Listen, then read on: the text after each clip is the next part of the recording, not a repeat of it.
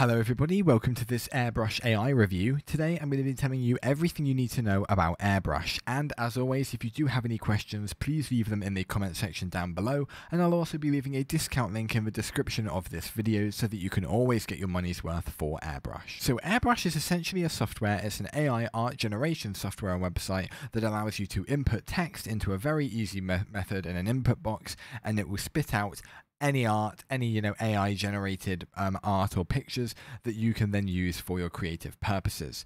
So beginning with the dashboard, and I'm just going to take you through everything that this software has to offer. So we have our first slogan and our main body of text, which basically says that we can create any photo we want, and we can have the option to create the image or search our gallery. We also have an on and off button for dark mode and light mode. We have our profile button that allows us to either create an image, how many credits we've got left, and whether we need to log out or not. And then you have a chat with us button. And then here we have our recent generations. Now, these are two that we've just previously done, um, and we'll come back to them in a minute. Um, but we also have our sign out button. We have a little support thing at the bottom left that you can use if you do require help with anything to do with the software. And then up the left hand side, we have upgrade, an image upscaler, a search gallery, history, create image, and then dashboard as well. So under dashboard, this is what we have, and then under create image is where we're able to create the image itself. So the image details is where you basically specify what you want it to do. Now you have two options. You have DALL-E 2, which generates and consumes 9 credits, but you have Stable Diffusion, which generates and consumes 1 credit. So obviously one will allow you to use it 15 times, but with the free 15 credits that you're applied, you're only able to use DALL-E once. So we're going to go ahead and do Stable Diffusion for the remaining 5, but as you can see under dashboard, this one here was created via DALL-E, um, and it looks very, very realistic as opposed to the purple bear on a beach here which is the one that was created by Stable Diffusion. And you can instantly see where the difference between these is that one goes for something ultra realistic and the other one goes for something that, you know, is evidently not meant to be realistic and looks a bit more like a piece of artwork or a drawing or a painting or something like that rather than a real life photograph. So we're going to begin with five different things on Stable Diffusion. So we're going to begin with number one, and we're going to put man looking into the gates of heaven something that we can all, you know, think about in our mind, and we'll have a little look at what Stable Diffusion thinks its interpretation of this would be. So once it's loaded, it will generate the image, and then you'll be able to download it once it has been created. You can also change the AI engine and the image dimensions, as I've said, but the image dimensions you can either go for a small one, a large one, or an extra large. So here it has created one. We can give it a thumbs up or a thumbs down. If I do hit thumbs up, it will give the feedback back, and as you can see, we have a man staring at some gates, which evidently have crosses on them to symbolize the gates to heaven. And then this, when it's completed, will appear here in our recent generations right there. We're going to go ahead and create a few more so we get a real idea of what it would do. So we're going to do a cat walking down a street and we're going to generate that image as well. There we have it. We have a street and then we have a cat walking down it. Very, very good looking, you know, really, really accurate, really realistic, and I think that it looks excellent. We'll try now one more and we'll do the Toronto skyline. Obviously, if you do decrease or increase it, it will use either half a credit, one credit, or four credits, and there we have it, the Toronto skyline with the CN Tower standing tall and proud over the top of it. If we do a small one, as you can see what this will do is with our remaining four credits that we've got, this will basically decrease it slightly. So if you go for the Toronto skyline one more time to just show you sort of the difference between large, medium, and small. This is what a small one looks like. Now, that is definitely not the Toronto skyline, but if we try that one more time, we'll have a little look at what the small image dimensions will show us there we have it. So we have obviously what I believe is body of water, probably Lake Ontario, and then we have obviously our city behind it with some, you know, foliage and stuff like that. So really, really easy to use. Um, and you can also use DALL-E 2, and depending on the size of this, will consume uh, either 8, 9, or 10 credits. And then Stable Diffusion, just to quickly show you one more time, generates either 0.5, consumes 1, or consumes 4 for extra large. And as you can see, we have 4 credits left, and here are the two plans if you did want to get some more credits. Now under history, you're able to view all of your previously generated images that you have got instead of having to go back to the dashboard because some people may have ge generated, you know, a very large amount and won't have them all appear in the recent dashboard um, area.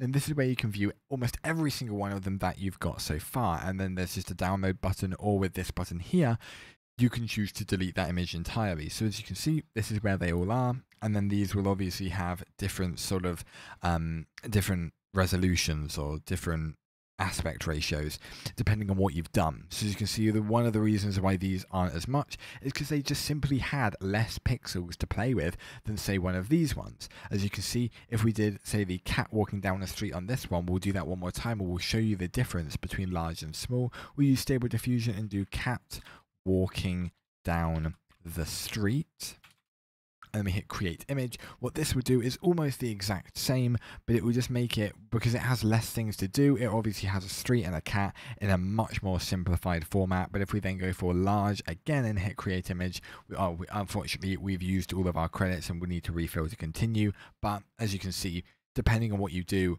large would be the one where you would go for if you wanted a more realistic image. If you wanted a really realistic one, you'd go for extra large and then small and so on and so forth. Now, a search gallery is where you're able to find your best images and prompts in the public gallery where people have created them. So please enter a description for the image. We'll put just Toronto one more time and hit search.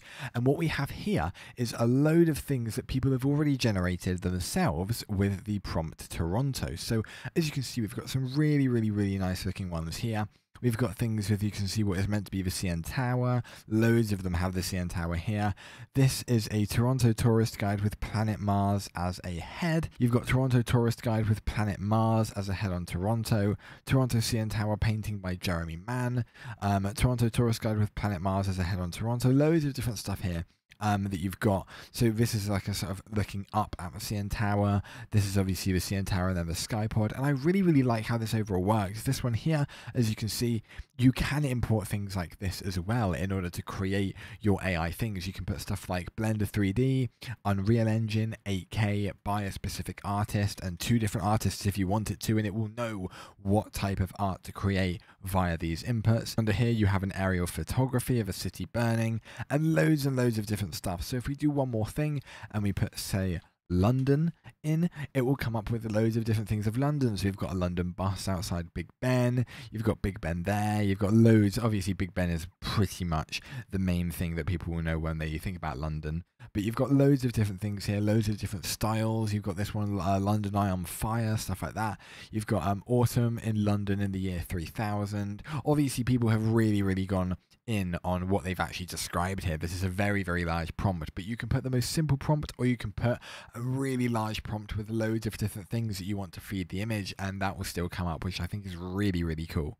And then finally, under Image Upscaler, you're able to clarify, as you can see, sharpen and upscale a photo without losing its content and defining characteristics. So all you would then need to do is input the URL of an image. So if you go ahead and get an image off the internet quickly, so I've gone ahead and just done a very simple Google image, as you can see, and it will upscale it slightly.